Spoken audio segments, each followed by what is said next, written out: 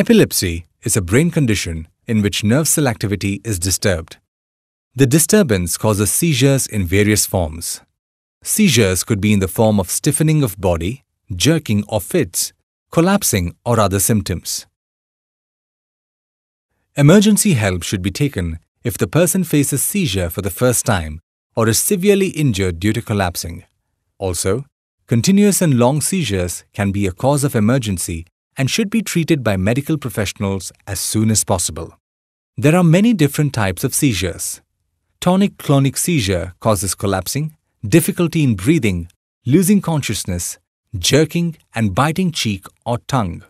Petit mal or absences are very short but can happen multiple times in a day. It causes staring blankly or mild jerking. Focal seizures can cause strange feeling or sensations like weird smells or taste, tingling of limbs, and twitching of body parts. Other type of focal seizures can lead to making repetitive movements or making strange noises. Seizure called status epilepticus is severe, causing long unconsciousness with multiple seizure episodes at a time. Causes of seizures are usually disturbances in electrical activities in brain is the usual cause is the cause of epilepsy which can be caused by injury, infection or tumor in brain. Deprivation of brain from oxygen and excessive use of drugs and alcohol may also be possible reasons for epilepsy.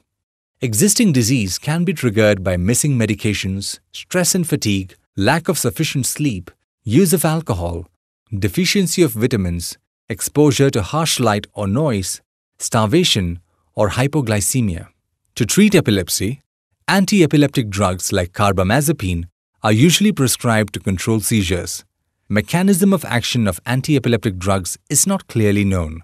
However, it is known that they attach themselves to the nerve cell membrane and block the channels of the cell. All anti-epileptic drugs have independent way of action.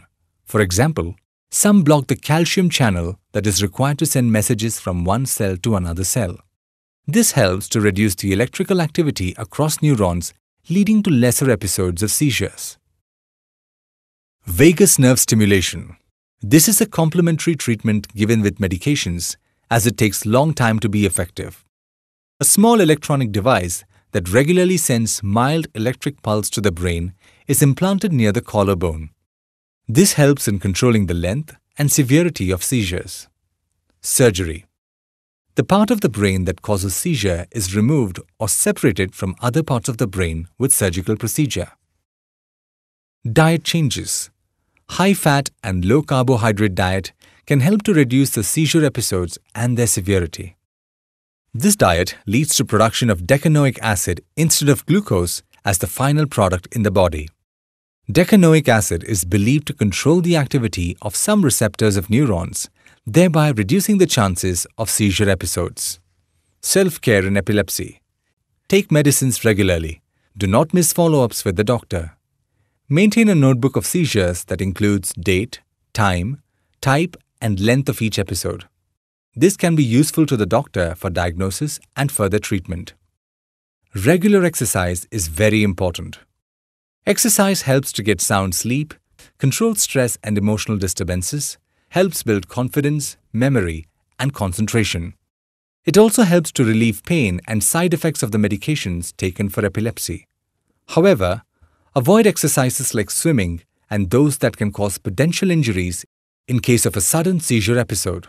Wear protective aids and take precautions to avoid injuries.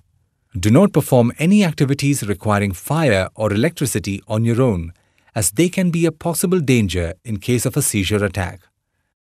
These can be done when other members are around who can take actions in case of emergency. Control the triggers to avoid frequent seizure attacks. For example, avoid getting exposed to harsh noise or light. Caretaker can help the person with epilepsy by know the instances and conditions, when to call emergency, and what to do in each case.